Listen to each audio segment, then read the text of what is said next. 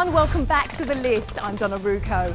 It's trending almost as high as our Royals. Everybody's doing the Dyson dance. Mitch Weber has the three stories people are sharing around KC. At number one,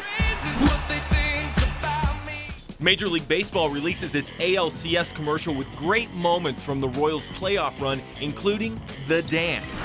Jarrod Dyson did his signature Yung Joc It's Going Down move. It's going down. After stealing third. Billy Butler even gave it a shot after he stole second. Now, everyone's doing it.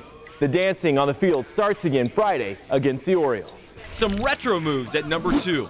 Mamma Mia. Mamma Mia the musical is dancing in the aisles at the music hall. The three reasons you should go from the cast. Number one is the music of ABBA. I think that's the real star of the show. Also, the party at the end is definitely a reason to come. Anyone can relate to it, any age, any gender, anyone's welcome to come because you'll find something you'll like.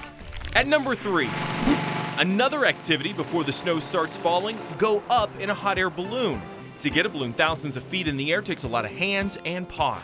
Back, give me that rope.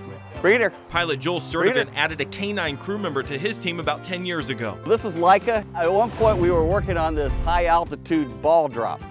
And I got him up to about four or 500 feet where I dropped the ball and he'd catch it almost every time. But it was a short-lived trick since Leica started following the balloon after his catch. And yes, Leica flies too. And he actually uses these step holes as little windows. He looks out these as he's flying.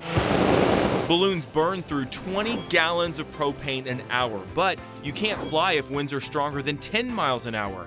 Also, balloons can fly no more than 500 hours before being replaced since the coating on the fabric breaks down after so many flights. Now you're caught up clued in around Kansas City.